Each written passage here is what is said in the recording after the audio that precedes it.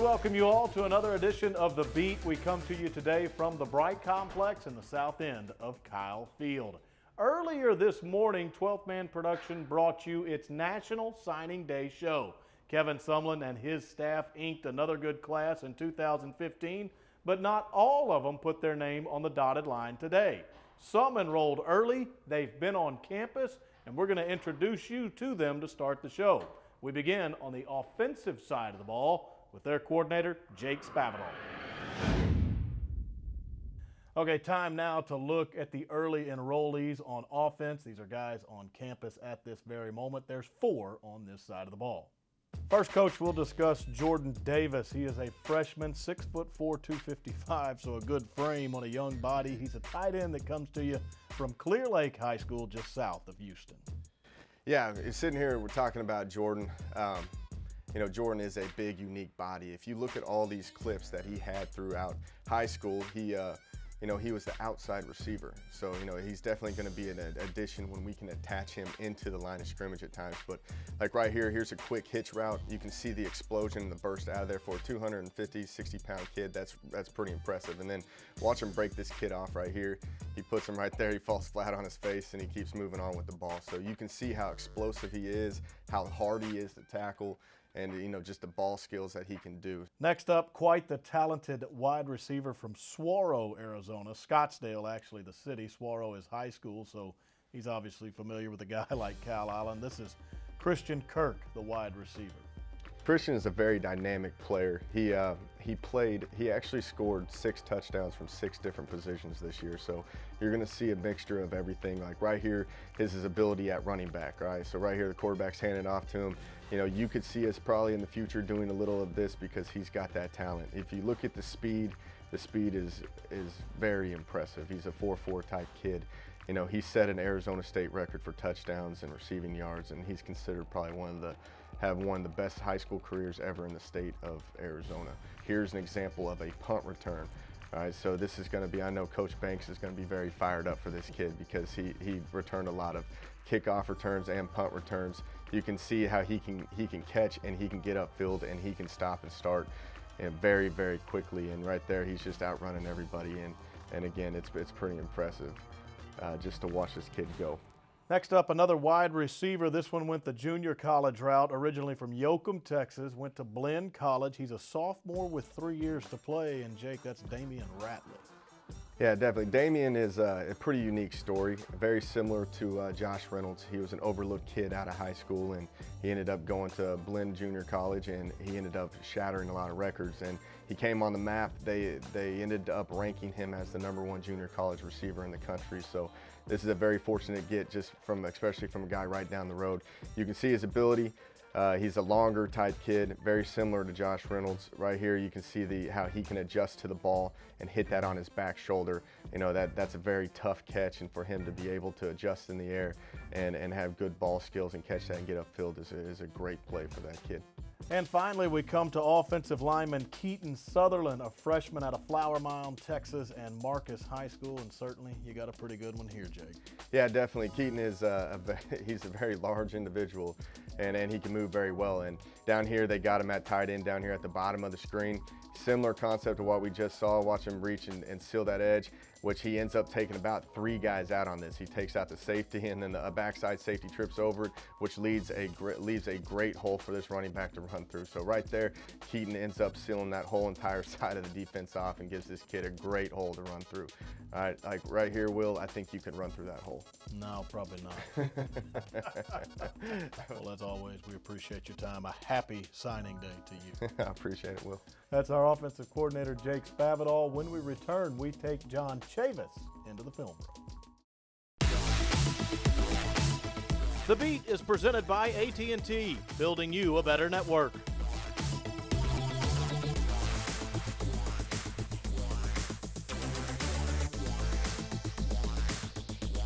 Welcome back to The Beat. We continue to introduce you to the early enrollees of the 2015 Texas A&M signing class. Most of them inked the dotted line on Wednesday, but some did early. And now we look at the defensive side of the ball with John Chavis.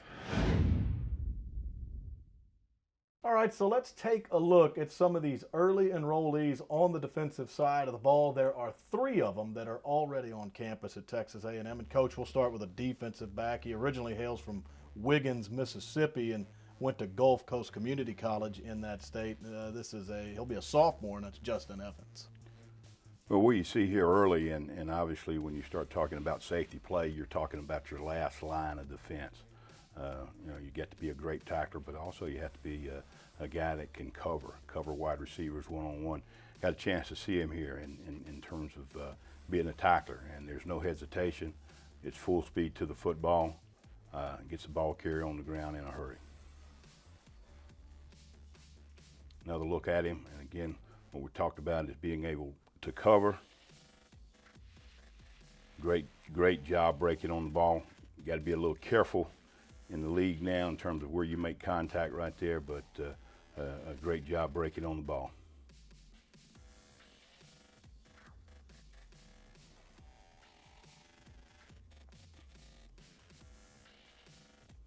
Again, you can see him getting involved in the run game early, uh, creating a situation where they think they've got a, a dump off to the back, and all of a sudden the safety shows up and there's no play.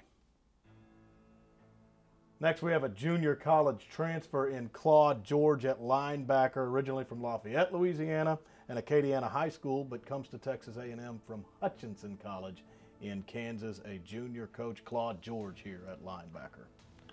Uh, Claude's a young man that has some versatility, uh, can play on the line, off the line. Uh, obviously, you see see here an opportunity to be a great pass rusher, getting off the edge and, and making a big play that results into a safety.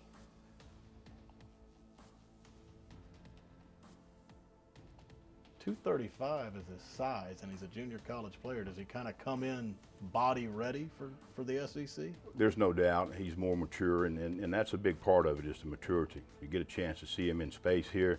Uh, you get a chance to see his quickness. You see how explosive he is. And again, he's a guy that can play on the line or off the line. You love those big hits. And finally, a freshman who is already on campus at Texas A&M University. He's from Cedar Hill, Texas, back-to-back state champions, and this is Richard Moore, a linebacker out of the Dallas area. Now you see Richard obviously coming from a program that has a lot of tradition itself. Uh, very physical football player, great instincts, great flexibility, comes out of his hips really well at the point of contact.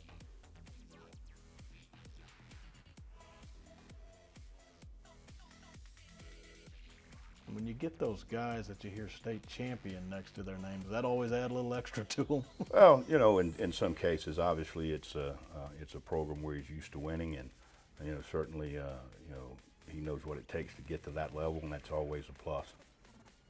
But it's the play, the play on the field that matters the most. And here's an opportunity to see him run through a blocker, obviously with great contact on the blocker, right to the ball carrier, and making a big play again.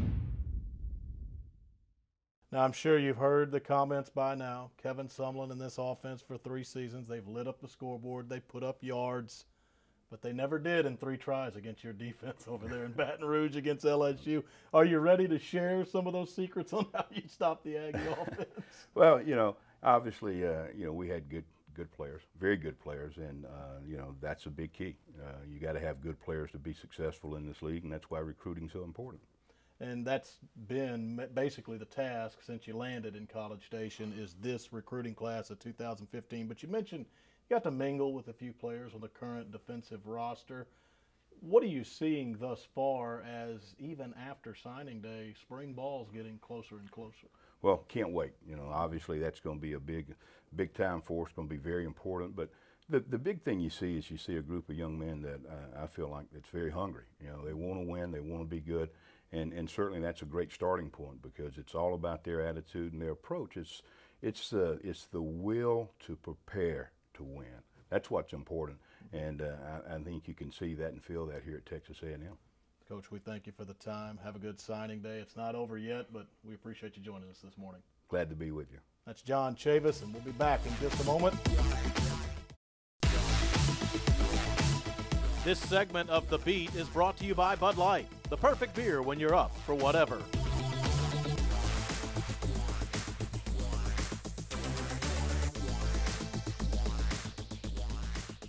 Welcome back to this edition of The Beat. We continue to cover National Signing Day. A&M Inc. their 2015 class. Some of the members on the current roster obviously were heavily recruited, and we caught up with a few of them to look back on their recruitment and the day they signed with the Aggies.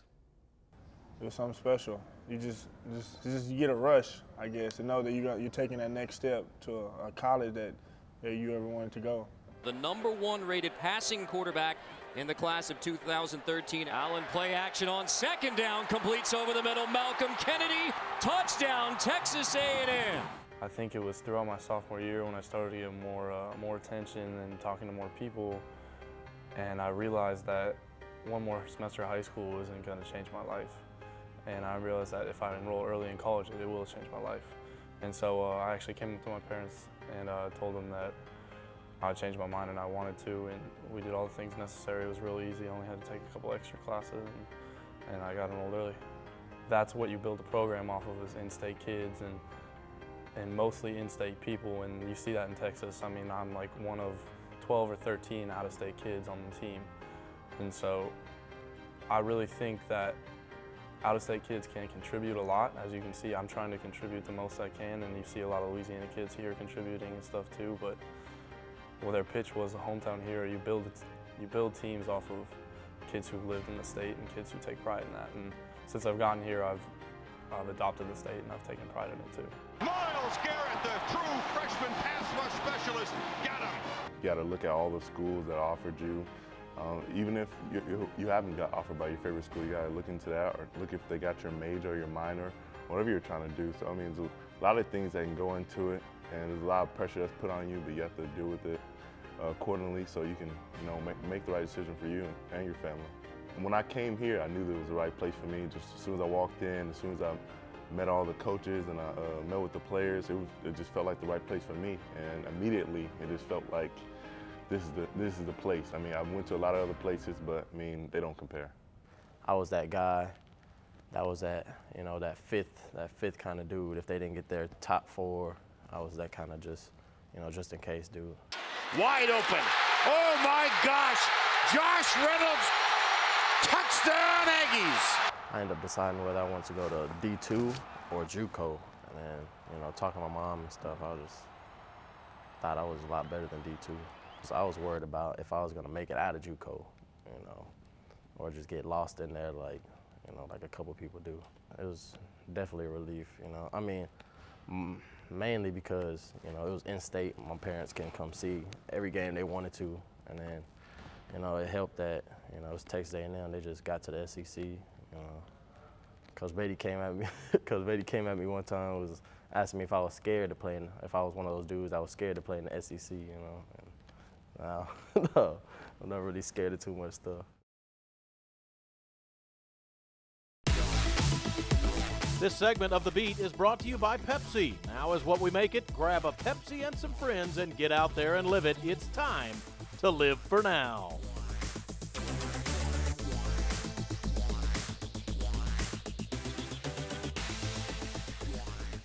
This weekend, very busy in Texas A&M athletics. We're going to look back on it right now, starting with the men's basketball team taking on Vanderbilt. The Aggies were in search of their sixth consecutive win.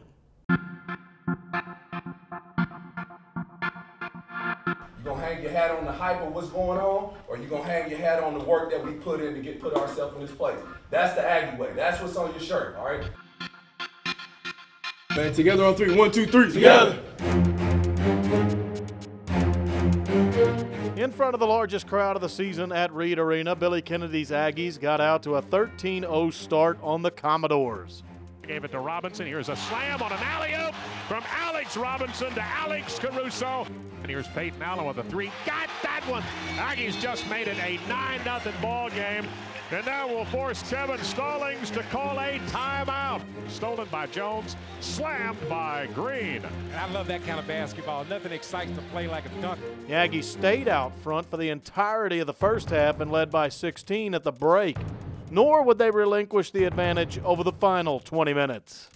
This side it comes to House, open for a three. Let go with it, made it, Oh, and he's yeah. fouled, and he gets an and one. And he will lay it up, and he made on a steal. A&M takes down the doors. Danuel House scored 13 points, and he had 22 against Auburn last Tuesday. And there you have your SEC Player of the Week. The conference gave House that honor on Monday. I just want to shout out to uh, you know all our teammates, six in a row. We're not done yet. Long season, you know what I mean? Turn up. Women's basketball brought a cold front to Reed Arena when Auburn came in Saturday. They rang in February with a Frozen themed contest. Fans were invited to wear the costume of their favorite character from the Disney hit film. Fitting that Auburn was ice cold, A&M held them to just 45 points. Effort and intensity on the defensive end of this basketball game. Now Walker at the shot clock, got it. Now opportunity awaits Gary Blair's squad as the calendar turns from January to February, and you get the sense this veteran group has a great run in them over the final month of the regular season. If you play team defense and you listen to the, the coaches, the scout, Coach Bond had it down to a science. That's what our assistants do, ladies. Coach Blair's always big about next man up, and depending on how you practice, if you're going to get to play or not. And so I think that we've had a good few days of practice since the South Carolina game, I think uh, that gave our bench a lot of um, confidence going into the next game. Finally, the 15th ranked men's tennis team beat number 5 Ohio State in College Station. The match started on Saturday but was delayed due to weather. The Aggies finished off the Buckeyes on Sunday 4-3. A&M is now 2 and 1 on the young season and has their next 6 matches at the Mitchell Center.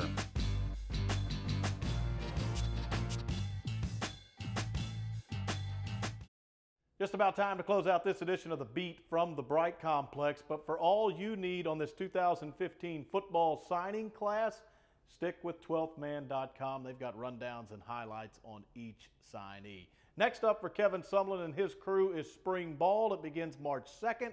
Two days later, on the 4th, it's Aggie Pro Timing Day, and we will cover it all on the beat. For this edition, so long, everybody.